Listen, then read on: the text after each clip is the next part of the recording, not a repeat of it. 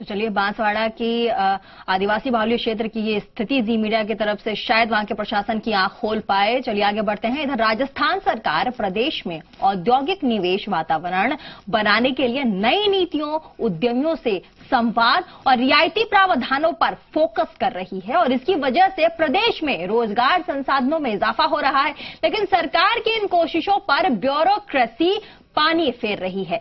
कैसे ब्यूरोक्रेसी की लापरवाही सरकार की कोशिशों को पलीता लगा रही है, आप खुद देखिए।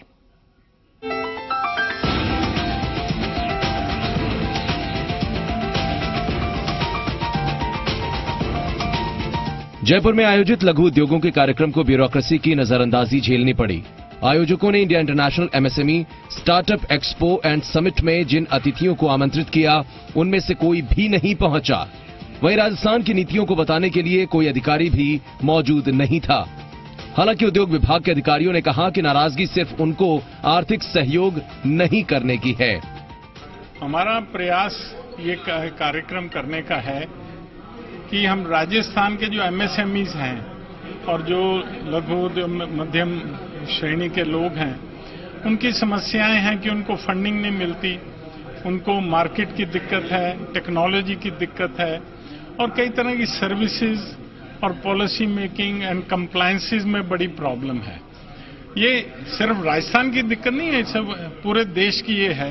ये दो दिन जो है इसके फ़ायदा बराबर कॉन्क्लेव्स होगी यहाँ पे सेशंस होंगे बी टू बी मीटिंग्स होगी और प्रोग्राम होगा। आपस में समझेंगे टेक्निक समझेंगे और जो राजस्थान इंडिया गवर्नमेंट का और राजस्थान गवर्नमेंट का भी ये प्रस्ताव आया है कि राजस्थान के उद्योगों से एमएसएमई से जो कंपल्सरी परचेज है उसमें भी ये आज हमारा ये जो एक्सपो हो रहा है निश्चित रूप से फ़ायदा एक्सपो में देश भर की 50 कंपनियाँ शिरकत कर रही हैं। इसमें सौर ऊर्जा ज्वेलरी प्लांटेशन सिक्योरिटी कंपनी उपकरण इलेक्ट्रॉनिक्स फ़ूड समेत विभिन्न सेक्टर की कंपनियाँ हैं।